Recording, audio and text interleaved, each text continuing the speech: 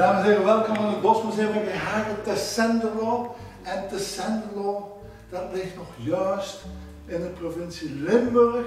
En ik weet niet dat jullie dat weten, maar ik geef jullie een leuk wistje dat mee. Limburg, de meest ontwikkelde provincie van Vlaanderen. Dat is waar. Voilà. Dus, uh, goed, dat is goed. Goeie opmerkingen. De werkgroep Ecologie van Centrum beheert het Bosmuseum. Wij zijn ontstaan in 1968. En in 1968 was er een groep, daar was ik er zelf nog niet bij. En uh, er was een groep die bezig was met de natuur. En er waren er ook een paar bij die dieren verzamelden. Toen kon dat eigenlijk nog. En die zetten dat bij hen op de, in de garage, op de zolder en zo en alles. En op een gegeven moment dat bestuur zei, we moeten daar eens iets mee doen. Het dierenopvangcentrum van Hoze Zolder van Opgabeeks, daar sterven vogels, ouderdom, ziekte of verkeersslachtoffers, die brengen hier binnen. En wat doen wij daarmee dan? Wel, beste mensen, wij steken die in de diepvriezer als ze nog goed uitzien. Ja, kijk, zo bewaren we dat. En op een gegeven moment nemen we contact op als het nodig is met de dieren opzetten. Een taxidermist neemt dat ook. Hè. En die komt, daar hebben we dus afspraken mee en die maakt dat dat dat in orde is. Dat ga ik je zo direct laten zien. Een jonge krokodil, een echte, jawel, kijk eens. Die wordt overgesneden, dat binnenste wordt eruit gehaald. Dan steken ze kunststofmateriaal in, wordt toegenaaid, ogen eruit, een soort knikker erin en klaar is kijk. Dus kijk, zo doet dat dieren opzetten dat, maar dit ziet er eenvoudig uit. Zie je waar dit in opereerd is? Nee. Kijk, je ziet dat het terug leeft. Hoe mooi dat dat gedaan is, niet echt waar, dat komt heel wat plezier. Dat is in kort hoe dat, dat gebeurt. Wij gaan ons vergelijken met de vogels en dan ga jullie vertellen wat een vogel is. Als je straks buiten gaat, dan ga je de vogels nog niet kennen, dat is een hele andere opgave. En je gaat wel weten wat het is. Vogels. Vogels, beste mensen. Dat zijn gewervelde dieren en dat zijn wij ook. Wij hebben ook een skelet. Vogels hebben we ook. Kijk maar, dat is van een duif. De ruggengraat, die wat langer dan onze, maar daar hebben we ook dat knobbel hier. Hè. Dus al iets gelijk, want moesten we geen skelet, geen geraamte hebben, voek. Wij konden niet blijven staan. Wat is het verschil met gebeenderen? Onze benen zijn vol en bij vogels zijn ze meestal hol. Want vogel moet licht zijn, want er moet lucht in. En hebben poten, we hebben ook poten, we noemen dat benen. En als je dat goed bekijkt, de vogels die zijn geschud. Dan wil zeggen dat vogels afstammen van de reptielen. Want vogels zijn ontstaan 150 miljoen jaar geleden uit de dinosaurussen, de reptielen. Zwaar. De vogels hebben ook een bek, wij hebben het ook, we noemen wel een mond. Maar vroeger toen we naar school gingen, weet je dan meer dat de, de meester of de, de juffrouw, hé hey man, hou je eens dicht. Ja. Ja. En in 1803 gingen ze de eerste keer de lucht in. Beste mensen, dat is nog maar iets meer dan 100 jaar geleden. Dat is niet lang hè. Wat hebben die ontdekt? Wel, beste mensen, die hebben ontdekt het volgende. Een vliegtuig, we hebben er allemaal waarschijnlijk wel eens in gezeten. En wel, als je nog eens een vliegtuig kruipt, dan ga je aan het venster zitten als je geen bang hebt. En dicht bij de vleugel, dat je de vleugel goed ziet. En je kijkt naar de vleugel en dan zie je dat je vleugel niet zo in de breedte is, maar zo. Zo is de vleugel. En dan denk je zo, ja, en dan zo. Want als je daar in dat vliegtuig zit, dat is waar, hè. Je vertrekt, je komt op de startbaan, je vertrekt, en dan ga ik maar niet te hard lopen, want dan lukt het. Maar ineens heeft hij 300 km per uur en hup, je gaat de lucht in. En dat hadden ontdekt.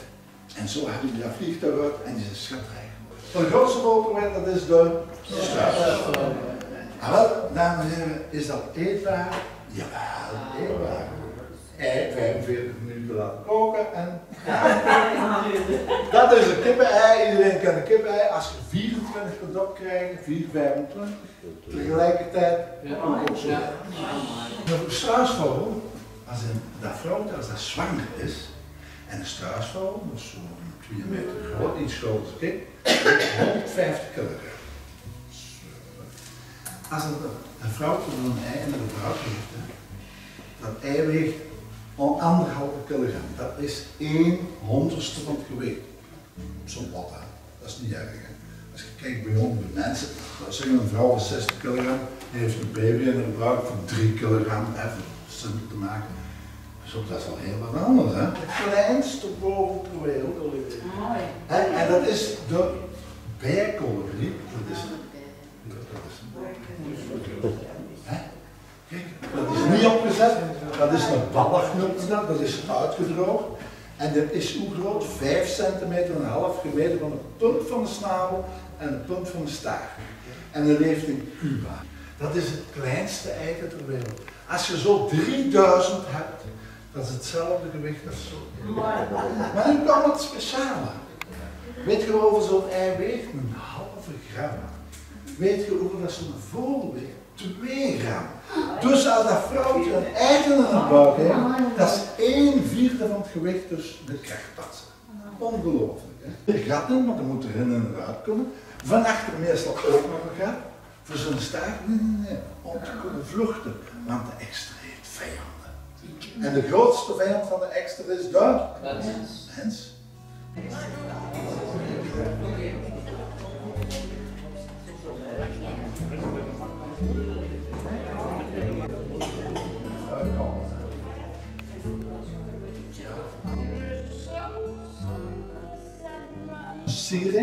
Dat is een, heel speciaal ingewikkeld orgaan dat verbinding staat met de luchtwegen, de bronchieën. En dat, is, dat werkt met spieren en zenuwen en ik weet niet wat, de lucht stroomt daardoor kunnen die geluid produceren. En vogels die kunnen zingen.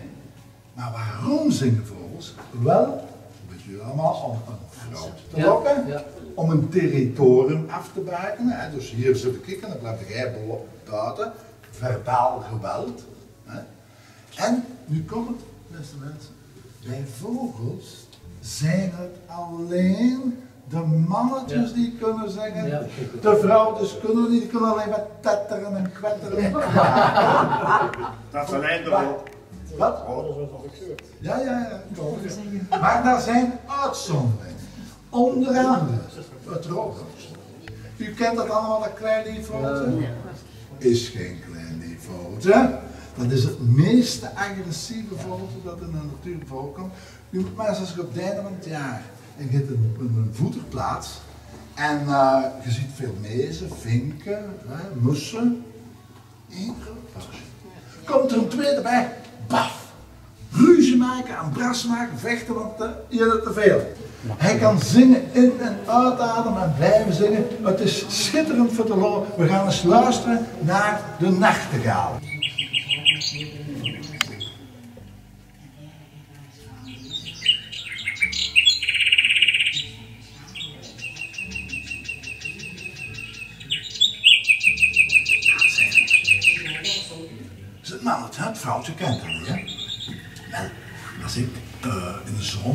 Zomer met een distersbroek, hè, Babbekomsbroek, dan ga ik luisteren naar de nachtegaal. Als die mannetjes afkomen, want die zijn 14 dagen eerder als de vrouwtjes ongeveer, en die zijn volop aan het zingen, hè, en als ze dan een dam nadien overkomt, en je zegt, ja, ik ga goed zingen, die gaan naar beneden.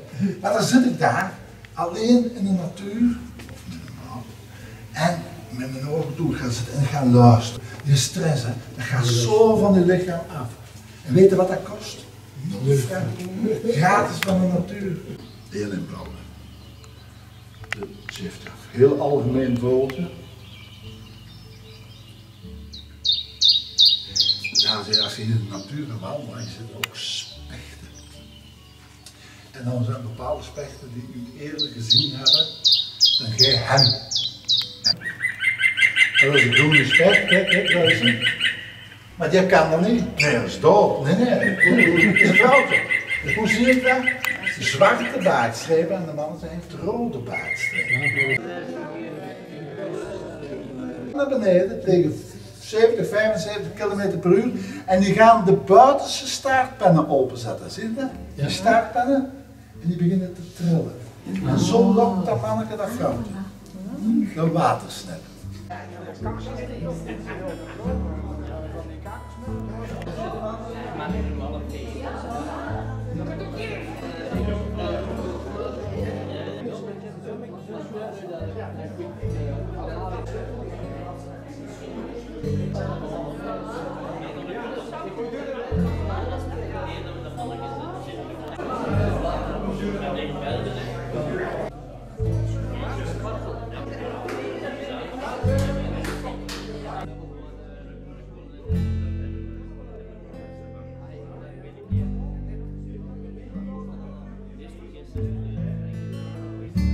ziet je daar een flesje hangen met een tong van een specht.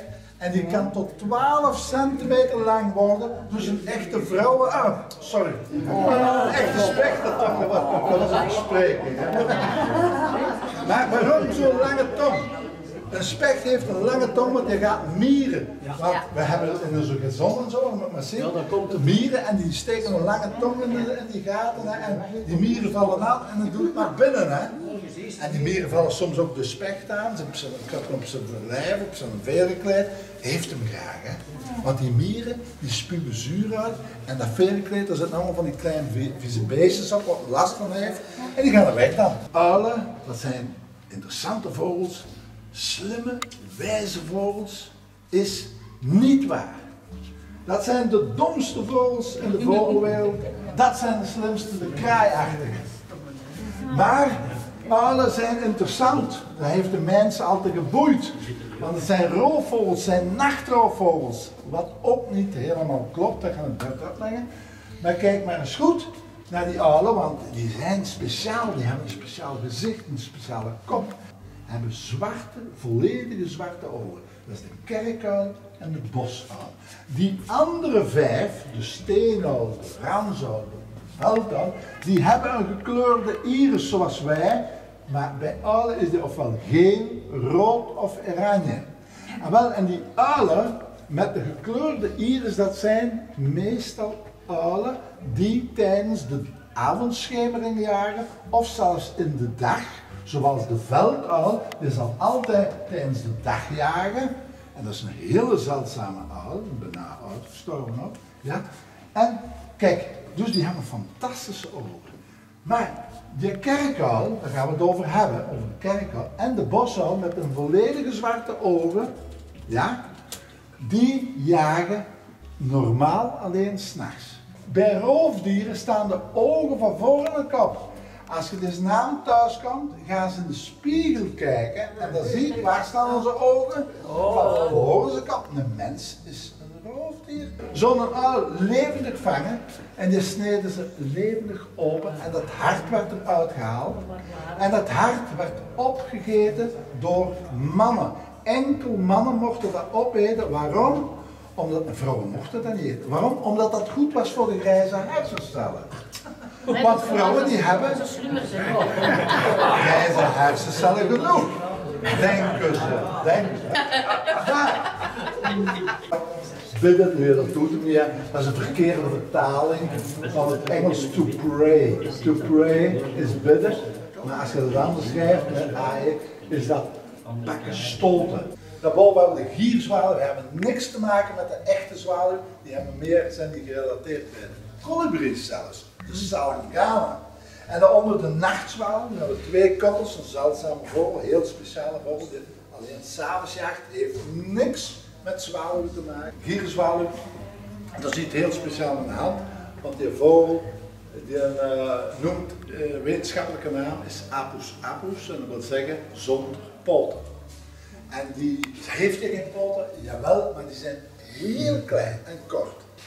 En daardoor kan die vogel niet op de grond gaan zitten en niet op de takken van een boom of een draad.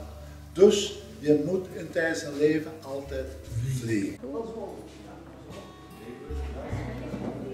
En stropers, ja, die, waarom gingen die dieren vangen? Om te eten. Want vroeger mensen die hadden geen geld of die hadden honger, die moesten stropen. En hier zo. En dan pakten ze een mes en ze sneden daar zo een geloof in die tak. Ziet je dat? Ja. En dan plooiden ze die tak in die geloof, want dat is makkelijk plooibaar, die lijsterbest. En dan hingen ze hier een strop in van paardenhaar of visdraad. En hier hingen de bessen van de lijsterbes. En merelachtige, lijsterachtige, die eten graag lijsterbessen.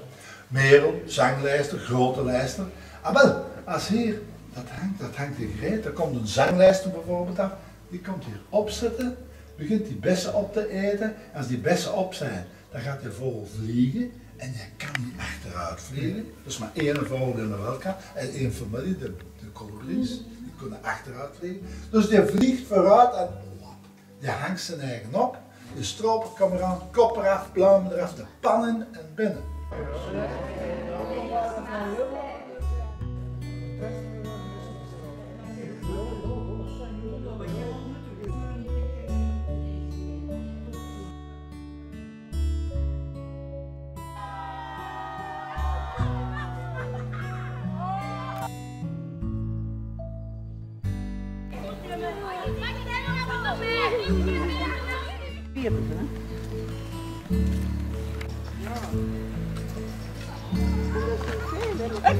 わ。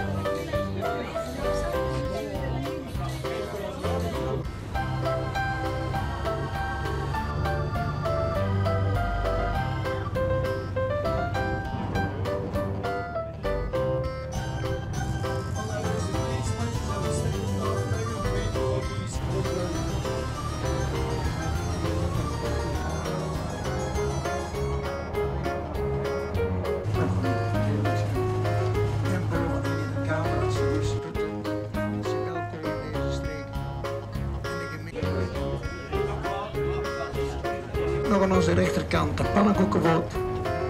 Dat is ook een boot die ooit gebouwd is in Duitsland.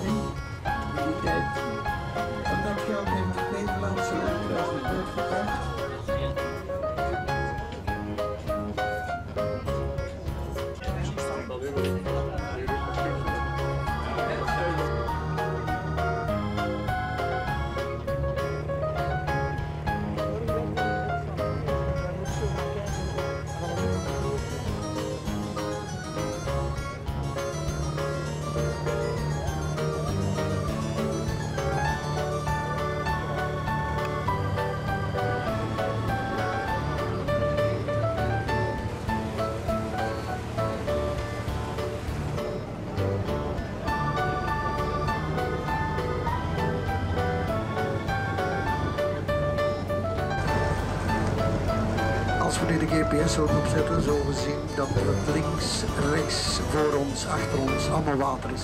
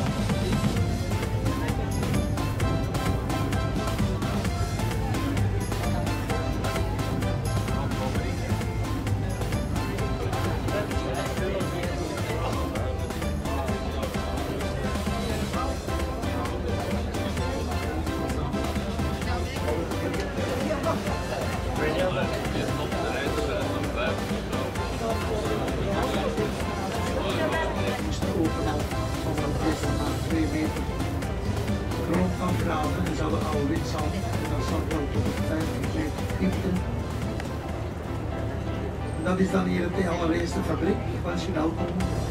Hier zijn ook de burelen gevestigd. van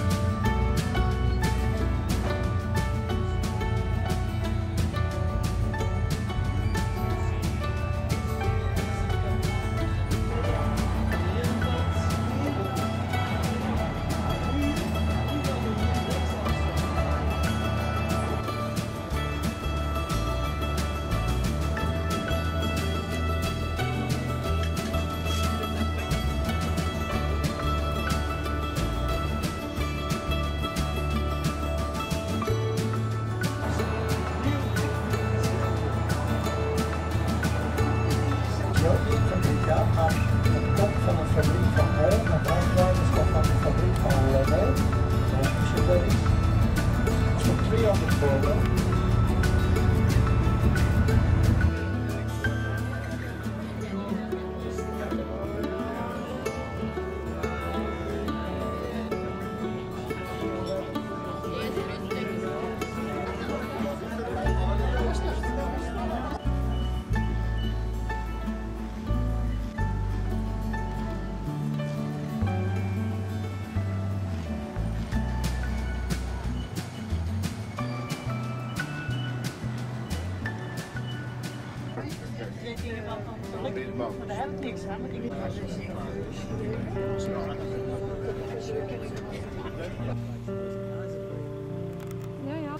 En eh, het resultaat is dat op al die jaren dat je nijsevens in onze tuin kunt zien. Eh, hetgeen dat je hier ziet van eh, Franse steen, dat is eigenlijk imitatie. Dat zijn witte itanblokken die dat hij met kippengaas bewerkt heeft. En dan jut in riepels gesneden en gedrenkt in, in, cement. En dat dan voor de kleuren van Franse steen te geven. Dus ik zou zeggen, als je al vragen hebt, gelijk als die zalven, die hem ook allemaal zelf ontwerpen. Eigenlijk hem alles compleet zelf gedaan.